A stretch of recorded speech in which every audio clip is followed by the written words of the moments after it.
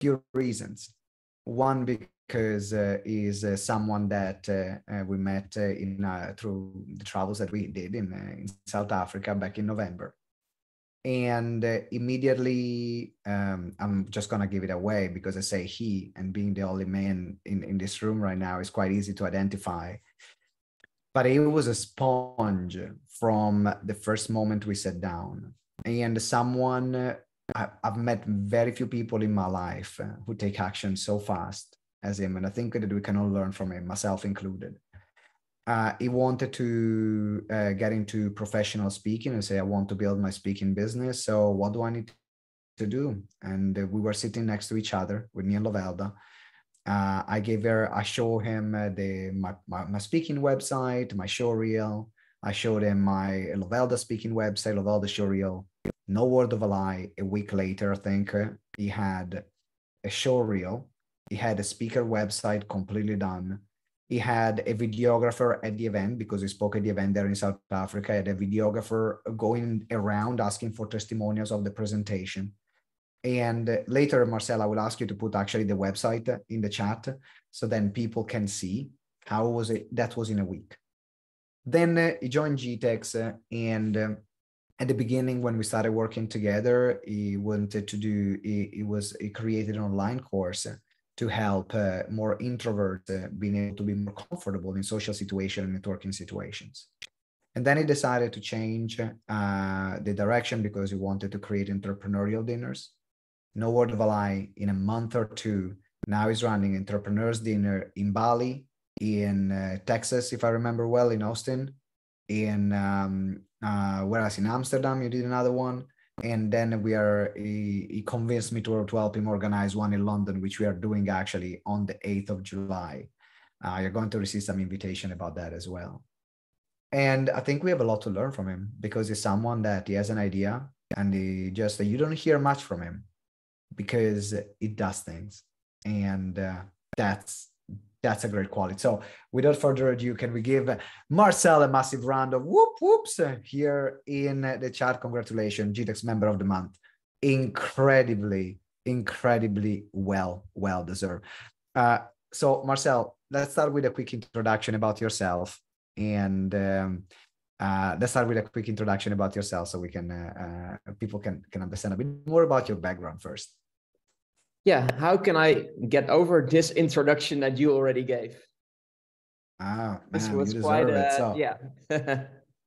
uh, so yeah, tell, go tell us a bit more about your background. What were you doing before? Okay, yeah. So I used to run a more IT related business. So I had a website called Trending Jobs, and it was a platform for people in the US to find jobs, mostly blue collar jobs. And I ran that until January 1st of this year, and then someone else took over my role. And I started looking for something that was a business that was more aligned with what I enjoy doing. Um, and I, I was looking for that for like half a year or something. When we met in South Africa, I had a different plan than I have now. So everyone really helped and just do a ton of experiments. And what I do now came from it or developed organically. While I was in Bali, I wanted to meet up with entrepreneurs. I wanted to be an in-person event, and I ideally wanted to be a dinner at a nice place. It's not too loud and where I could make multiple connections, specifically with entrepreneurs. And it wasn't there. So that is the initial reason I started organizing dinners and events for entrepreneurs. And that developed organically really quickly as well. Like it grew every week. Uh, more people came in, people brought other people as well that were a perfect match for the group. And then I was like, hey, I'm doing all this work to build an online business. And I feel like organizing those in person events specifically for entrepreneurs, I enjoy that a lot more and i'm doing that i'm solving a problem for a target audience that also has money to spend if i solve a problem for them if i give a good experience so that was the moment that I decided, okay, I'm going to focus on this. I'm going to build a community for entrepreneurs focused on in-person fun experience that um, revolve around human connection rather than being very uh, transactional networking events. And that's what I'm working on now. And uh, and that's uh, and that's where we are. Uh, so I'm going to ask Marcel a couple of questions. This is as part of the mastermind. This is a chance also for you to ask Marcel uh, some questions. Uh, can be about it's mainly about how he does things or how he sees things. Don't ask him, hey, what do you think is the best marketing strategy for my business? This is our role. Okay. So the kind of question we're going to accept here is uh, something to get to know him better or some for him to share an experience, for him to share maybe something that he did on a business level, on a personal level to get a certain result. So think about it. And I would love you to start now start writing question. I got two more, and then I'm going to start reading the questions that you're putting out. Uh, so first of all, uh, you were running another business before, uh, which was completely different from what you're doing now. I want to ask you if there is one thing that you did in the other business that you are taking with you that is helping you massively in creating this one. Yes, in the early stages of my previous business, I was trying to do a thousand things at a, at the same time. Um, every idea looked like a good idea and it looked profitable, so let's try it and let's see if it works. Like the spaghetti against the wall approach. And through both advice from other people and through own experiences, I learned to focus on one thing at a time and do that really well and become the best at that. That is the main thing I'm taking away. And that's also why my uh, current business focus is so specific. So focus. Focus. Focus. That's what. Yeah. I, focus on uh, focus on uh, what uh, what you want to build, which now gives me to another question, and the other question is what helps you decide what to focus on because when you're doing the spaghetti against the wall approach you know you could focus on every single spaghetti that you're throwing. And i think that's also sometimes a challenge that i have that every entrepreneurs have is like okay which spaghetti that i'm throwing i'm actually focusing on and how do i know if it's the right one or not? Do you have a sense or do you have a way to explore it or just chance? Uh, what has been your experience yeah so this is where it also differs like my second business differs from my first business. My first business i wanted to have an income so i could travel the world and become a digital nomad and just be anywhere. So i just wanted something that generated profit with the least amount of hours as possible. So i optimized for that. Now the second business it's way more important to me that i do something i really enjoy and it's mm, i'm building something that i think is important and something that i would do even if i didn't get paid for it for it. So like it depends on your situation. It like in building this entrepreneur community i fortunately had some uh, some income and some savings so i could be really patient and try a bunch of things out and see what I enjoyed doing. And where that activity um, also solves a problem for other people that have an income to spend on that, where those two meet, that's where I focused on. Mm-hmm. So something that you enjoy. So you've tried a few things uh, then you found what you enjoy the most, which aligns with what people would spend money on. Okay, so this is the thing people will spend money on, and the people that have the right income to spend, and this aligns with what I can do, the, what I love doing the most. Yes, is that correct?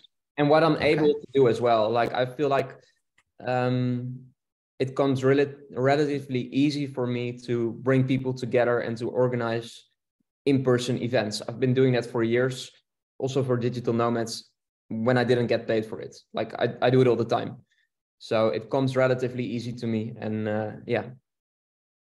Yeah, you know what's interesting? I think there is a lesson uh, here for everyone, and uh, some of you might already uh, have used this approach, but it's also asking yourself, uh, uh, what is the thing? Who, who, I, what am I about outside my business?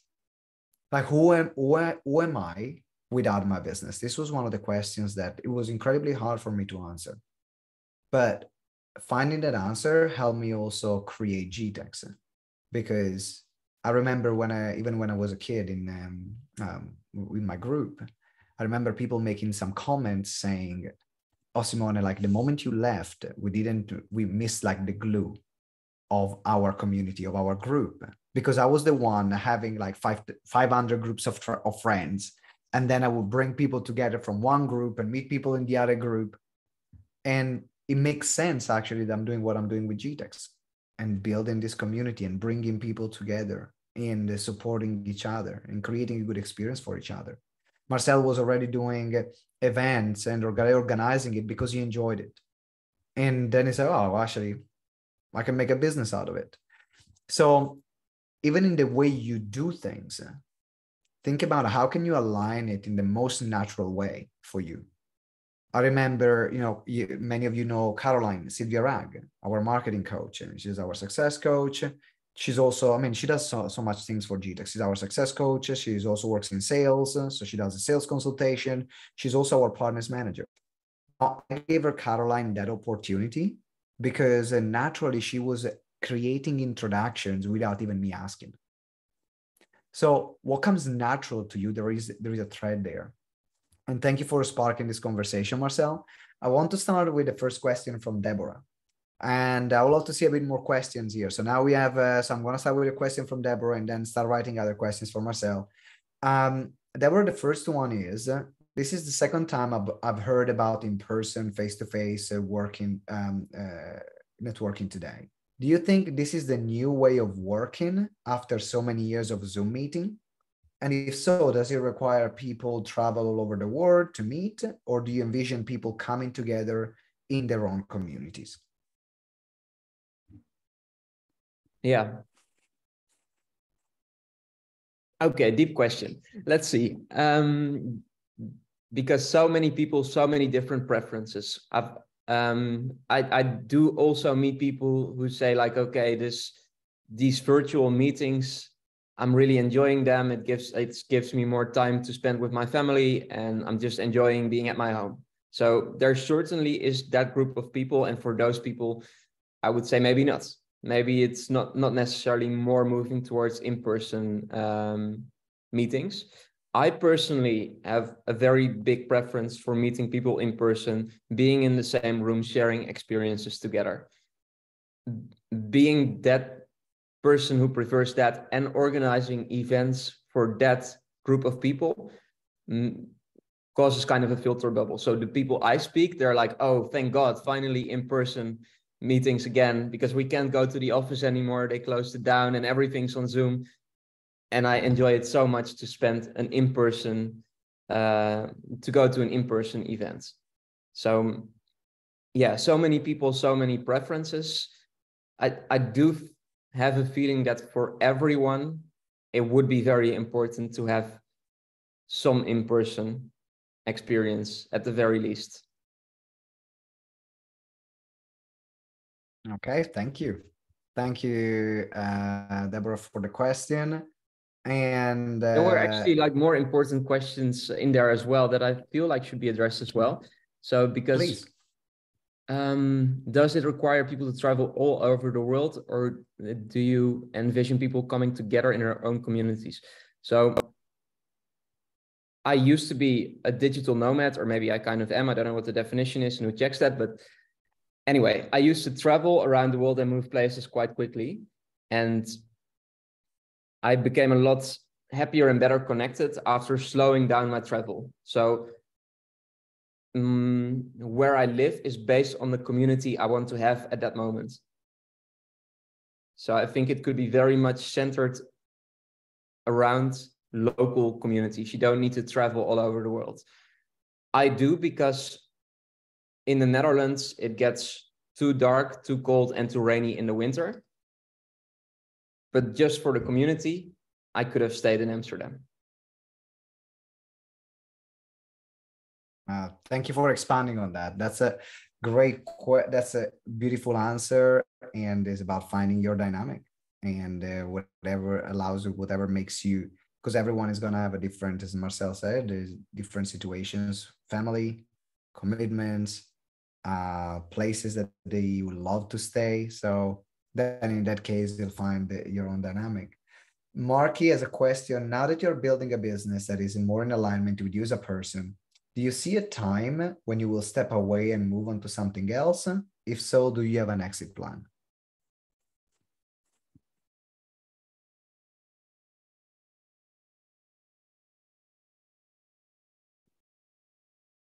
I could do this for the rest of my life. And even if I had like an endless amount of money, it's probably what I would be doing. So I don't have a plan to step away from this, specific business for the communities. For example, the one in Amsterdam, I don't want it to depend on me because I want to go to Bali when it gets cold. So it's a yes and no. I don't want it to be dependent on me but uh, I want to keep doing and uh, keep involved in this forever the way I see it now. Okay, thank you. Um, Fiona, do you do hybrid events, so in person and also Zoom, you can attend? Yeah, maybe that relates to the focused question. I now focus on creating the best possible in-person experiences. Doing hybrids is a little bit of a different ballgame so I first want to do this perfect, and maybe at some point there will be something hybrids, but I don't know yet. Um, so I, I, I envision at least for the next year, the next two years, only focus on in-person events. Thank you. And then, uh, Joanna, this is more of a comment than a question, which was, um, and then she also has a question. But the comment from John was your life demonstrates your values. According to Dr. John Demartini, um, when you live according to your highest value, you become inspired and awaken your genius. Absolutely agree with that. And the question that she has is Is there one thing you do every day to keep you on track? For example, a morning routine or something else? Well, um, Actually, not really. And I don't know if it's the best way. I think I might be outperformed by people who had like a similar level of intelligence and uh, fire in them to do this, and they had routines. But well, the only routine that I have is in the morning. I don't do meetings before like 11 a.m. or noon, and I just it's just myself focusing on my business, making a clear to-do list, and working that morning on the things that are that are like needle movers so maybe that is actually kind of a routine. Yeah so i'm trying i'm trying not to be reactive but to be proactive in how i approach my days. It's but it, like what it is it's different every day.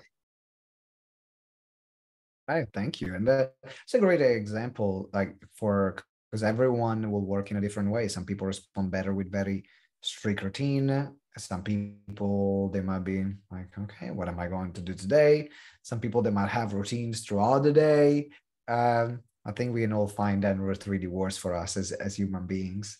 Yeah. And uh, also people who like need that human contact and that little interaction to get energized in the morning. So it is different. Uh, it's not like i'm doing it the right way or the wrong way. It's just different for everyone. Mm-hmm. yeah absolutely. There's a question from Danielle because, uh, and we, we might have covered this already, but said instead of having other people join you for your in-person event, do you travel across the world to create in-person events in other communities? Okay, so what has happened so far is that I already traveled to places and then I decided to organize events there. Mm, I haven't traveled yet specifically to organize events, but actually the event in London that Simone mentioned earlier, that is more like, okay, I'm traveling there because uh, it would be very fun to do a dinner in, in London. So a little bit, but most of the time it's just I'm traveling somewhere because I want to go there anyway, and then I organize the events. Right, which uh, which actually let me plug it. If you're in London, uh, then reach out to me or Marcel. We'll send you the link, and uh, it's gonna be exactly a month from now, on the eighth of July. so exactly on the eighth of July, which is the day after the speaker awards that we are doing, which was really interesting. Also to think about how to maximize your time. What I like about Marcel is that um, he, he, thought about a way to maximize his time in London. So he applied for the Speaker Awards. He entered them. He's coming to the Speaker Awards dinner. It was like, well, I'm already there. There are going to be a bunch of people already there because of the Speaker Awards. Why don't we invite people for dinner? I think there is a lot of lesson here in leverage because uh, if you see what he what he did on a business level, and this is great for partnership. No, we talked a lot about partnership building. This is a partnership, right? He saw me doing something, the Speaker Awards in London. I we are bringing people all over the UK, some parts of Europe and the world to London. They are staying over most of more likely for the following day, unless they're already based in London. So he said, hmm, this could be a great time to organize a dinner. Let's see if Simone is open to it. So now he's leveraging all the work that we did for the past uh, six months he's leveraging for the dinner. And I love that because this is what creates great partnerships. Is that how can we create something that adds value to both parties? He has needs connection in London. We already have. I wanted to do a dinner already because I've talked a lot about redoing more things in person in London. So here you go. And this aligned perfectly. So then I, I decided to say yes. So 8th of July is going to be in London. We are in Piccadilly at the Century Club. Uh, I think we have like a 20 pound joining fee, if I remember well, which is given to charity. And then everyone pays for their own dinner uh, while we're there. And we're going to have a good time connecting, sharing. And then, of course, we have a great host in Marcel. Um, I think we can now wrap up the interview. Marcel, if there is uh, and everyone here, I would love you to write something or a nugget that you got from this interview. Something that helped you either see things in a different way, or maybe was a reminder for you um, that you got out from this particular interview. And um, in, while you're doing that, I want to ask you, Marcel, how if you have a final message that you would like to leave uh, people with um, after this uh, this sharing? Yeah so um, this is basically for everyone who feels like okay I, I would love to have more like-minded people around me to meet up in person to learn from to keep each other accountable like whatever you want to share. If it's not organized wherever you are at the moment it is quite easy and very rewarding to be the organizer of the thing you would have loved to attend if someone else had organized it Mm. Yeah, yeah. You know what this um you know what this reminds me of? How we started GTEx. Mm. This exactly was why we started GTEx because we wanted to be to do events. And it's not that there were not events in London, but we were too young to speak and no one knew us and we didn't know what we were doing. So we said, well, let's organize events ourselves. we invite a bunch of speakers and that's how 10 years ago GTEx started in a farm and look at us now and uh, i cannot wait to see how your journey is going to unfold in your events uh, man because uh, you got a heart of gold you, you're a person that gives um, and uh, for everyone here please connect with marcel uh, not just for the dinner but also for connection if you know someone else that could benefit from the dinners reach out to marcel make those connections and introductions because that's why we are here as a community to help and support each other. We can see a lot of messages from people, um, from everyone. Um, Marcel gets his energy from doing something that he truly loves. Uh, from market, the power of blocking out time every day to focus on your business. So moving the needle. Linda, I love that Marcel had an idea and just run with it. The magic happens when you're brave.